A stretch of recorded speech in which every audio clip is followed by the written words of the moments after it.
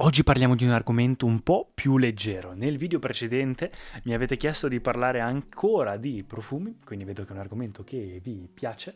Ovviamente continuerò a parlare anche sul mio canale di altro, condividere la mia esperienza anche interiore, eh, ma ogni tanto un video così un po' più leggero anche sull'ambito esteriore o comunque anche sull'arte, perché alla fine i profumi sono arte, ci sta. E siccome c'è caldissimo, sta arrivando l'estate, mi avete chiesto i profumi per l'estate. Partiamo dal presupposto che, dal, dal presupposto che questa è una mia opinione, quindi questi profumi sono quelli che secondo me sono i migliori, sono di nicchia praticamente tutti, ma ne ho aggiunti 5 eh, commerciali, quindi trovabili anche nelle profumerie tradizionali.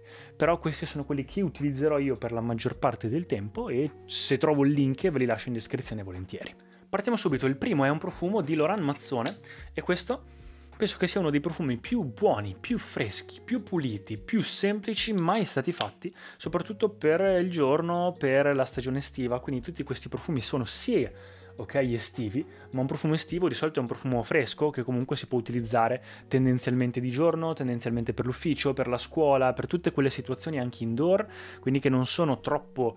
Eh, forti, neanche troppo caldi, neanche troppo speziati, sono una via di mezzo tendenzialmente fresca, un po' citrusy e questo è particolarmente peperino ma fresco, acqua zenzero, sa proprio di questo zenzero, però non immaginatevi quello zenzero, proprio zenzero, ma più una quasi, non so, un po' sparkly, ecco, quindi quest'acqua un po' come quando mettete acqua e limone con un pizzicolino di zenzero in un eh, tè freddo dà un po' quella sensazione lì. Non è per niente dolce, è molto molto dissetante, ecco come profumo.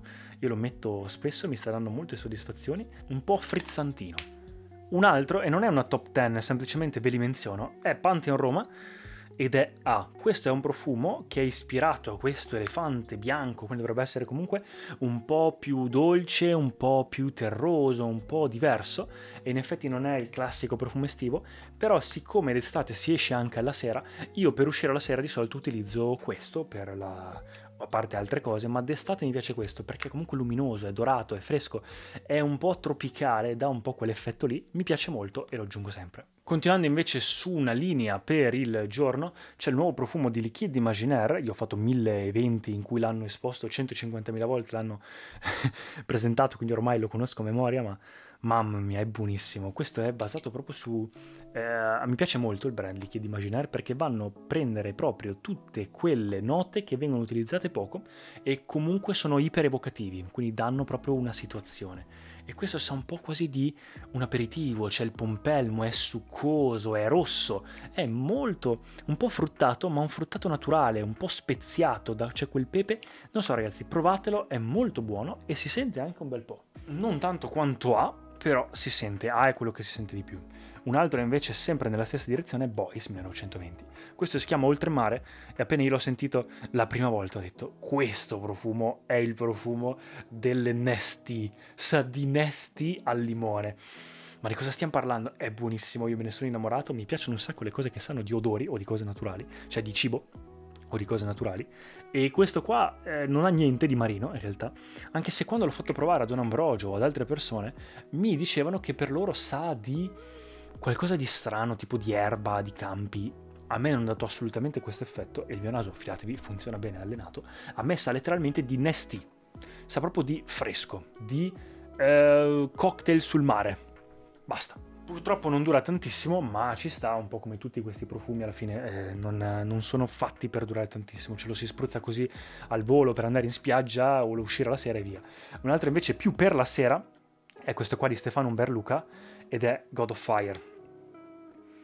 Questo invece è iper, a differenza di quello che suggerisce il nome, è frizzantino, è un cocktail sulla spiaggia, è ispirato a questa figura eh, di questo dio del fuoco, ma in realtà è molto eh, sparkly, anche questo però è fruttato, tropicale, è un po' più dolce degli altri, un po' più piaccione, però mi piace molto, dura tanto e questo riceve tanti complimenti. A proposito di complimenti, questo qua di Lorenzo Pazzaglia si chiama Sex Sea, è un estratto di profumo.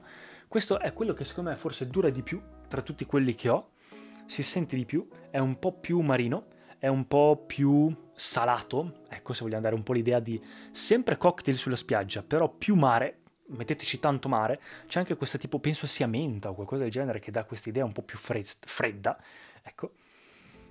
Ma io non so per quale motivo, ogni volta che lo metto, qualcuno mi fa un complimento. Pazzesco. Ho gli ultimi tre, mi sembra, e poi proseguo con quelli commerciali. Questo è Cajal Lamar, anche questo con complimenti non scherza. Questo è pulito, è fresco, è un po' più rabeggiante, ma in un senso bagnato, in un senso arabo, in un senso naturale. C'è questa rosa, questi fiori, questi frutti. È un'oasi dorata che a me piace tantissimo indossarmi, anche sentirla a volte da solo, proprio prima di andare a letto, mi piace come odore ed è molto rinfrescante, lo consiglio anche questo. Un altro profumo, e non ce l'ho anche questo qui perché l'ho lasciato eh, da un'altra parte è il profumo Wulong Cha. Quando sono stato in Giappone, a Tokyo, ero entrato in questa profumeria, in cui era un po' la profumeria maggiore di Tokyo, quel, diciamo quella catena dove la maggior parte delle persone vanno, e loro hanno questa top 10 proprio esposta, con 1, 2, 3, 4, con il numerino attaccato, dei profumi più venduti. E i giapponesi, come tutti gli asiatici, non sono amanti dei profumi forti, e quindi indossano profumi un po' più intimi che rispettano il prossimo, gli spazi altrui e il profumo numero uno era un profumo di Nishan che mi è piaciuto tantissimo e si chiama Wulong Cha ed è un tè, diciamo un tè verde praticamente, un tè tipico eh, cinese. Mi è piaciuto tantissimo, iper fresco, lo uso tanto d'estate, proprio rinfrescante, un po' asiatico, io lo associo anche al Giappone, quindi mi piace e lo volevo aggiungere perché lo utilizzo molto. E gli ultimi due sono un po' un bonus, ma io veramente andrò a indossarli, non mi importa quello che pensate, sono due profumi di influencer, eh, però io li metto lo stesso perché mi piacciono tantissimo e sono i profumi di Jeremy e il profumo di Alex, Fragrance One Office, questo è, il mio profumo più complimentato in assoluto di Jeremy Fragrance. Fossi, fui il primo a fare la recensione di questo profumo ancora anni fa, quando il mio canale era in inglese e parlavo soprattutto di profumi, e tuttora è un profumo perfetto per l'ufficio. 10 su 10 le performance, 10 su 10 complimenti, creatività 0 su 10, però è un DNA che funziona, è stato bravo, non c'è niente da fare, come lui molto tedesco, un profumo che funziona. Adesso è un po' più pazzo, più che tedesco, ma è un profumo che vale tantissimo e funziona bene.